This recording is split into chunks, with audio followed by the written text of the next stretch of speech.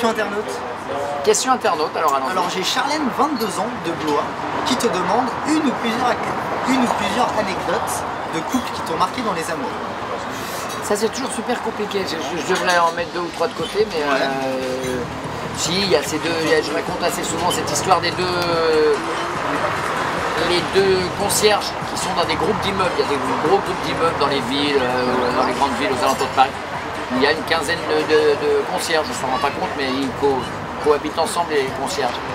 Il y en a un qui me dit, je lui dis mais vous, vous faites quoi comme métier concierge et elle concierge C'est marrant, on était tous- non non on était dans le même groupe d'immeubles, son mari il est mort, ma femme elle est crevée, on s'est foutu ensemble. D'accord. Ça, il me semble que c'est déjà une très belle anecdote du, du style royal au bar. Ouais. Euh, sinon, écoute, euh, l'histoire aussi de ce mec euh, qui est avec une hôtesse de l'air magnifique. La fille, elle est de Bordeaux, elle est magnifique. euh, grande, brune, etc. de 30, 30 ans. Lui, plutôt beau gosse, 32, 33. Et, et- je lui dis, quel est le petit truc euh, qui vous énerve? Elle dit, à chaque fois que je vais prendre une douche, où elle dit ça, ça énerve tout le monde. Au moment où je prendre une douche, mon mari se précipite dans la salle de bain, donc on dit, oh là là. Il se jette sur mes dessous, et il les sent, et il les respire, et, et ça m'énerve. Ça fait quand même, c'était assez bizarre de voir ce couple avouer ce petit, ce petit travers devant tout le monde comme ça. Qui sont en couple, c'est bizarre. Oui, oui, c'était très très bizarre.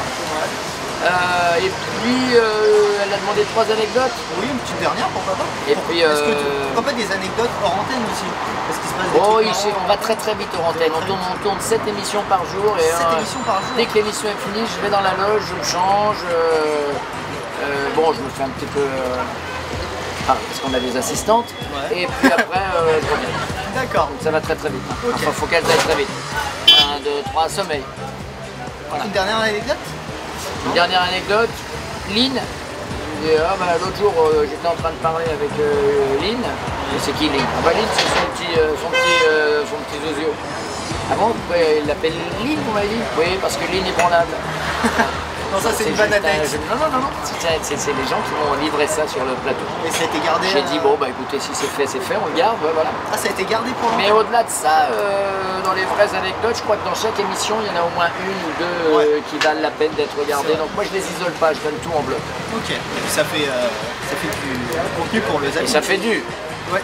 contenu pour le zapping. Je parle en Problème même de, de, de, de cher- les mots, pour- qu'est-ce que j'ai Les dit ou pas? Ah, parce que- parce que- Mais bah, bien sûr, prends pas des bois. Mais parce que je remonte tout et après on voit plus la différence. Eh ouais, mais toi, tu, tu- parce que tu, par, tu sais, Voilà. par exemple, tu parles en ce moment avec des gamins de, de la banlieue, ils ont beaucoup dit qu'il y a moins de vocabulaire.